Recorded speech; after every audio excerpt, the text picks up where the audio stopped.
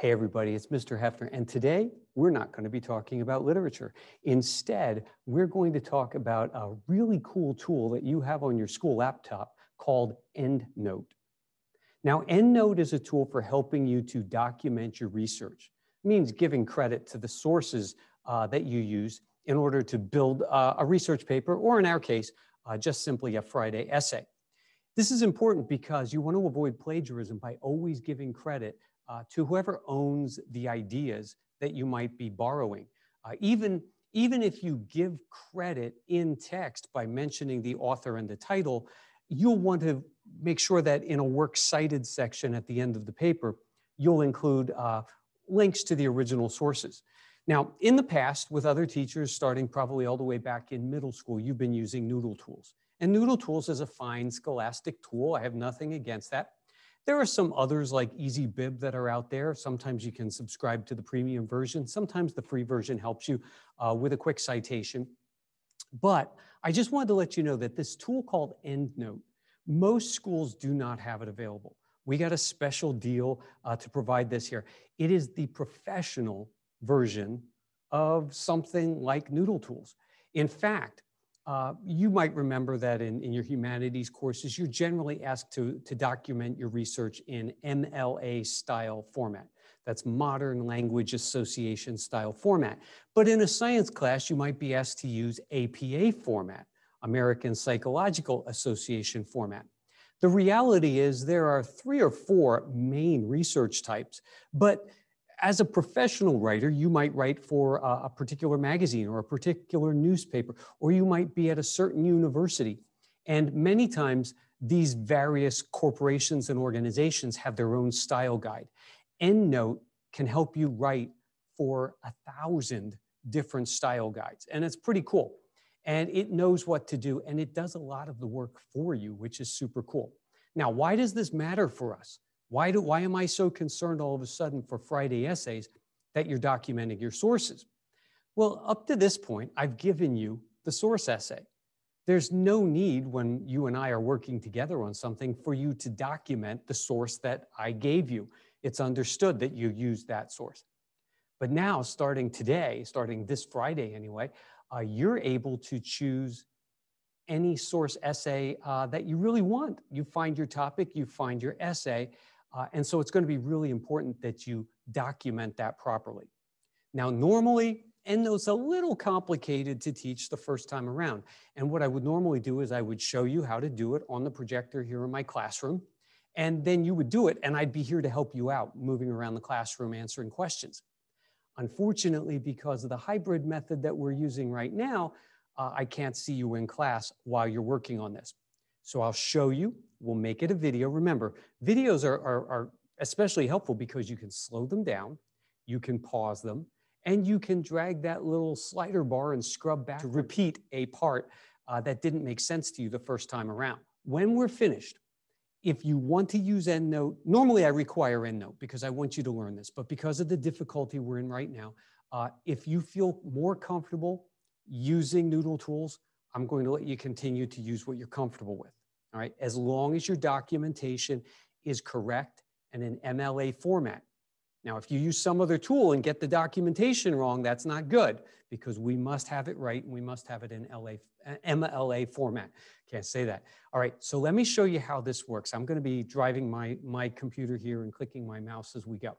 So, so I've got an MLA style heading, my name, teacher's name. Of course, I'm the student right now, but uh, if I were the student, I'd be John Q student and, and the teacher's Mr. Heffner. The course that I'm in and the date, it's all double spaced. It's at the left. In the upper right, you're going to do a header. If it's more than one page, you don't have to worry about it if you have a one page essay, but it's going to be the last name. So John Q student's last name is student. And then set this up so it does the page number automatically. So every page will be updated. Title of the essay that you're writing and your essay. Now, to keep this generic, I've used just filler text here, but let's say this is the essay that I've written, and I've got a couple things that I need to document. So here's your first on your own kind of essay. It's introduction to EndNote is what I called it because the topic can be anything that you want. Make sure that you read the instructions. Much of this explains what I've already said about EndNote. Steps to follow, you're going to find a good source article. Now, here's the catch, right? I want you to find a good source article. You may not just go to any old web page and pull off an opinion, right? So your sources have to come from one of the databases that we have. So you could go to EBSCO, use any of the databases that are in there. You could go to Gale Resources, use any of those. What I'm going to recommend right now, and I'll show you how to get there in a second, I would recommend in Gale, there is a, a database called Opposing Viewpoints. And I like this one because you can search by topic. There are articles that have appeared in magazines and newspapers and professional journals, but for every topic, you have them on both sides of an issue. And so you can find one that you want to respond to. Now, remember, when you respond, you don't have to pick one that you agree with. You can pick one that you agree with and then agree, but with a difference. You could pick one that you disagree with, and you could disagree and explain why.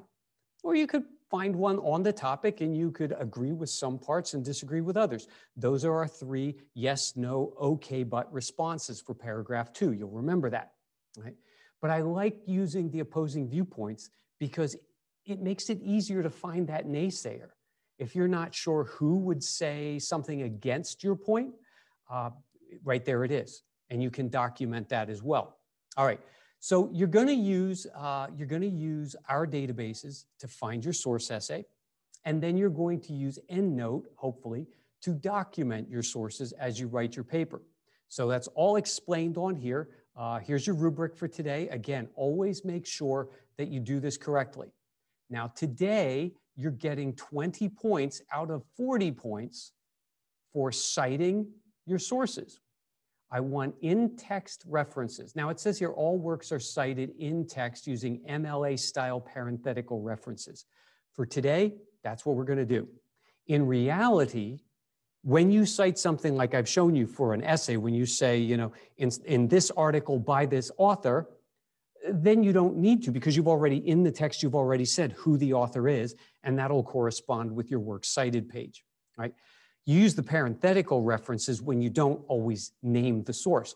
Today, we're just going to do it both ways to make sure you've got this. And then we'll start giving you the choice of which way you want to do it later on. And then we're going to add a, a works cited. Uh, it doesn't have to be a separate page for us, but at the end of your essay, I want you to have all works cited listed. You must have at least one. So your source must be there. If you found a really good naysayer, then you're going to have at least two your source, and your naysayer. All right, and other than that, you're doing everything we've done so far. Paragraph one, summarize the source essay, include a, a direct quote, be fair. Paragraph two, start with a yes, no, okay, but transition. This should be the biggest paragraph in your essay because this is why you're writing to get your ideas out there. Paragraph three, use a naysayer transition sentence, introduce that naysayer, and then quickly kind of like deal with it, right? And then paragraph four is your conclusion, but we don't want a summary conclusion. We want a uh, so what or a who cares type. And on your list of uh, on your list of transitions, you can pick a transition uh, sentence template to get to that last paragraph. So that is the assignment. Now, let's just say I need a source. So I would go to Schoology I'll click on the uh, Conrad Weiser LMC, CWLMC, which is our Library Media Center. You can then uh, come into resources. You'll notice I'm already on resources here. And you can come up here and click Mackin log into all databases. This is something that was new last spring, but teachers probably didn't show it to you because by the time we got this, uh, it was March 13th and we had gone remote at that point. But if you click on Mackin login to all databases, uh, it'll use something called Clever and it'll automatically log you in. So you don't need to worry about all those passwords and things like that that we used to have. And all of our databases are going to show up here. Now, I found that when I first came in here, it was only showing me the first 15, and I had to click load more. But the one that I wanted is this one right here. This is called Opposing Viewpoints, and it's from Gale. And I'm going to click open now. And we are going to get Gale to open up right here.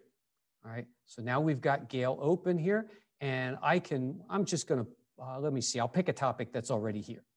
So let's say I wanna do something with uh, society and culture. Let's do workplace diversity. It's, it's big in the news right now. And right down here, we've got already, we've got featured viewpoints. So these are generally ones that have been published in well-known sources. So I'm just gonna take the first one. This is by John Rogers Jr. of the Washington Post. And I can click here and I get my article right here. I can read that article. I can pull the parts that I want.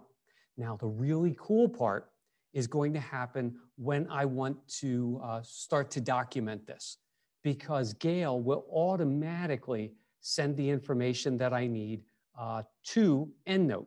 Now, what's EndNote? I'm going to stop sharing here because I got to jump over to EndNote now, and then I will come back. Now, when you're looking for EndNote, if it's the first time you've used it, you're going to click on the little magnifying glass uh, in your files and you can type EndNote as one word and it will come up and it'll ask you to register. It will ask you to uh, where you want to save your EndNote library. Automatically, it's going to save to My Documents. The problem that creates is when you're in school, My Documents is on the school server. When you go home, you don't have access to that server anymore. So I would suggest instead of saving my EndNote library in My Documents, save it on your desktop. If it's on your desktop, you should still have access to it when you get home. An even better way to do it is when you're in school, use a flash drive and save it to that flash drive so you'll have that in school or at home. Now, when you open EndNote, it's probably going to give you this little pop-up and ask, would you like to update? The problem is you don't have installation privileges. If you click yes, you're going to wait while it downloads the update. And then when it goes to install, it's going to suddenly tell you that you don't have those privileges. And ah. so once EndNote is open, this is what it looks like. Now, for you, if it's the first time you're using EndNote, there's going to be nothing in this big window right here in the middle. Those are all sources that I've added over time. You can delete them if you want. I like to keep my research once I have things. You can also over here where it says my groups on the left, you can create a group for each research project that you're doing. If you want to stay super organized, you can, instead of this giant window where everything appears alphabetically, you could put things into a fold. I call them folders. EndNote calls them groups. I have no why, idea why they had to call it groups instead of folders. Um, but what's going to happen is once I pick something from one of my databases and I choose to add it to my EndNote library, it's going to show up right here. And it's going to be in here by author's name and title and where it was published and the date. And all the publishing information is going to be there for me. All right. And so here we have uh, the, the information that I had found. Right. This is the article that I had here. And when I'm ready to send that to EndNote, all I have to do is scroll to the bottom. Here's my source citation. And I'm going to pick right down here one of these sources. So if you're using Noodle Tools, keep using Noodle Tools if you're comfortable. I'm okay with that now. Um, but if you'd like to try EndNote, what you're going to do with EndNote is you're going to click Download RIS. All right. And the first time you do this, it says open with Notepad. That's not going to work okay? Uh, you could try to choose open with EndNote, and here it is, and that will work. If you've never used EndNote for this purpose, you might have to choose Save File and then open the file and it'll say, what program would you like to use? And you can choose EndNote. But if you, if you have used it before, click Open With, pick EndNote, and say Other. And now watch what happens when I say Open with EndNote. All right, so here we are back with the essay that I've written.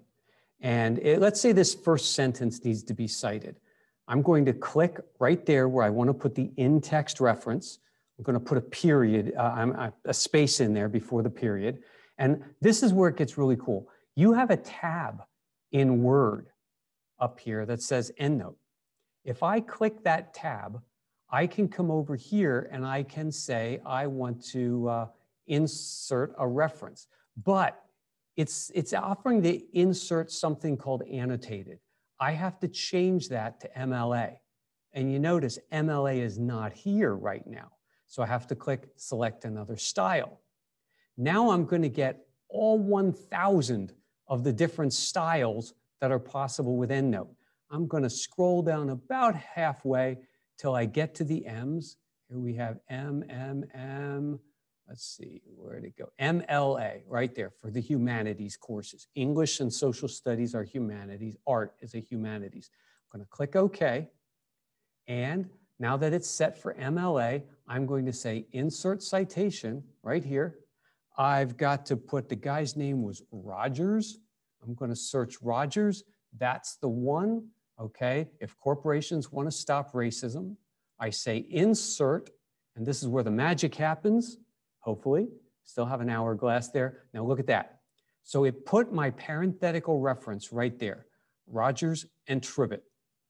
I don't have to worry about whether I did it right or not, because as long as this is set for MLA, it did it correctly. Here's the other really cool thing. If I scroll to the end of my paper, the end of my essay, I see that it already put my works cited here. Now, the one thing I have to do, I have to type works cited, right? And I have to center that. And I could put it on its own page, but I'm not going to. And the last thing to be officially correct is I should make sure it's the same font as everything else. So that means that I've got to change it to Courier New. It's got to be size 12 so it matches. And it's got to be double spaced, just like everything else. So it gets the information correct, but it doesn't get the formatting right. Now, what's really especially uh, cool is if I added more sources, it would automatically add them down here. And regardless of the order I add them in the paper, it will keep them alphabetically organized here, right? So what's the advantage to using EndNote? Number one, it's super easy once you learn how to use it. Number two, it's going to be correct. As long as you remember to change it from annotated to MLA, it's going to be the correct format. What's a, what's a drawback to using uh, EndNote? Well, one of the drawbacks is you have to use Word. Because it has this, this tab up here for EndNote 9, uh, it will not work. EndNote does not work yet with Google Docs. Other than that, it's a great way to document your sources. So your goal with today's essay once again, find your own source, find it from a good database. No cheesy websites, right? We don't want any crazy, crazy groups out there, you know, arguing that, you know, aliens came here and, you know, tried to poison us 20 years ago or something like that. Uh, it's got to be reputable. It's an academic setting, all right? Uh, document it correctly. And other than the essay writing, you know what to do. You know what to do in paragraph one, paragraph two, paragraph three, and paragraph four. Now, if you have questions and you're not in school to be able to do this, uh, feel free to send me a Schoology message and I'll get back to you as soon as I can. All right, so I wish you luck. I hope you'll be able to do this. This is not the way to teach this. It was way too difficult trying to go back and forth between screen sharing.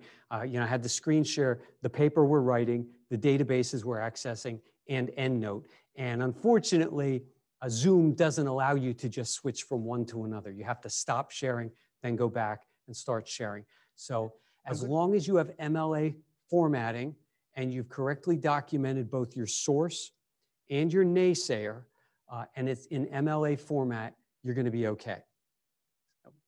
I'll see you guys later.